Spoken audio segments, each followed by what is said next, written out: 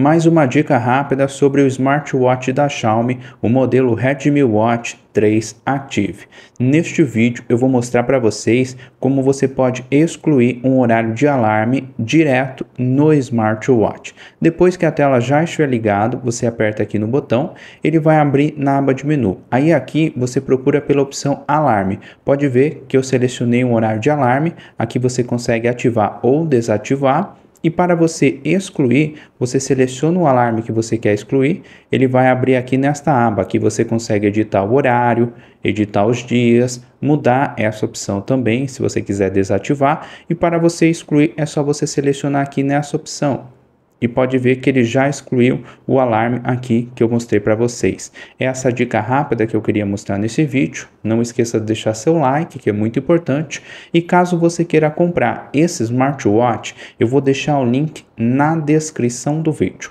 Muito obrigado e até o próximo vídeo.